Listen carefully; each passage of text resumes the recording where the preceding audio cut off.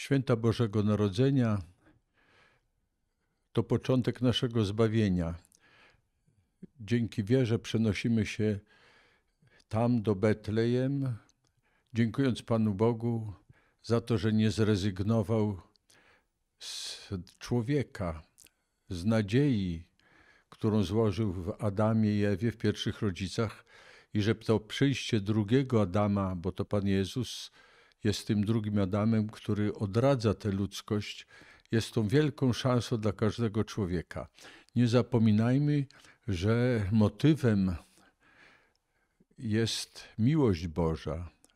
To miłość Boża rodzi się w Betlejem.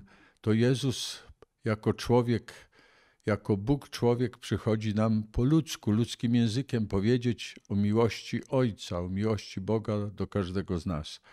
Przyjmijmy tę Bożą miłość i rozwijajmy ją przez kontakt z drugim człowiekiem. I pamiętajmy, że to Pan Bóg chce udzielać nam pełni i udzieli nam tyle, na ile potrafimy przyjąć. Trzeba rozwijać tę umiejętność przyjmowania Bożej miłości od ludzi, od drugiego człowieka, dzieląc się z nimi, ale też i odnosząc to wszystko do Pana Boga. Pamiętajmy, że jesteśmy potrzebni. Każdy z nas jest potrzebny w tym miejscu, w którym postawił nas Pan Bóg.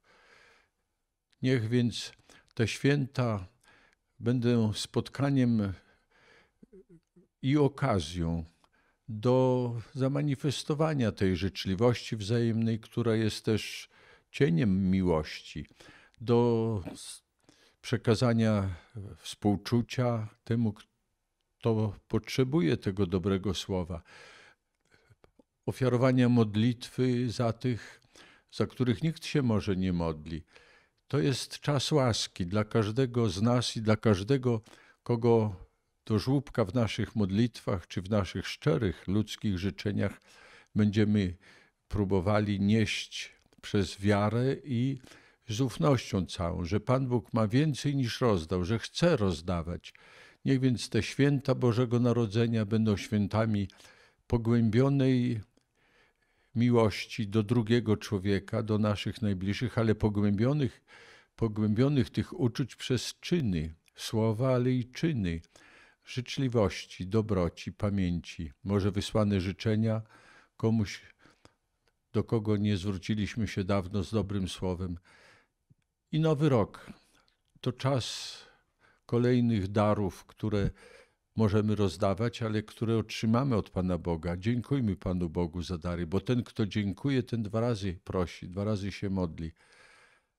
Kulturę człowieka też poznajemy po kolejnym słowie, nie tylko słowie życzliwości, ale też słowie przepraszam. Niech nam Pan Bóg wszystkim, każdemu z nas da siłę do wypowiedzenia słowa przepraszam wobec tych, których może zraniliśmy, a może za mało tej życzliwości okazywaliśmy. A zatem owocnych w dobre czyny na drodze ku zbawieniu życzę na te święta i także na ten nowy rok. Szczęść Boże.